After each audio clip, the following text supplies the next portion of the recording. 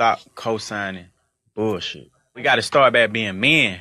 Be men, not yes men. Exactly. Niggas gotta learn to like call a nigga out, like, cause I, uh, everybody around me who you see with me, they gonna call me out. I hate the who say, "Well, I knew that was gonna happen."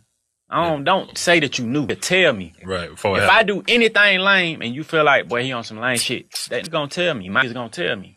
He gonna call me. Somebody gonna call me like, hey, bro, tripping. Niggas need to start paying attention to that. When you see every nigga with you ain't telling you you wrong, bro, these either some bitches or they want you to fall. If a Right, nigga just fact. letting you do that shit, Yeah. so you need to open your eyes up to that shit. But just gotta start appreciating that shit. I can't. I love when they tell me where that was lame. Mm. I go on your shit. Woo woo woo woo. You know what I'm saying? Cause that let me let me know like you want me to be on top of my game. Some Fact. niggas want to see you do lame shit and crash out.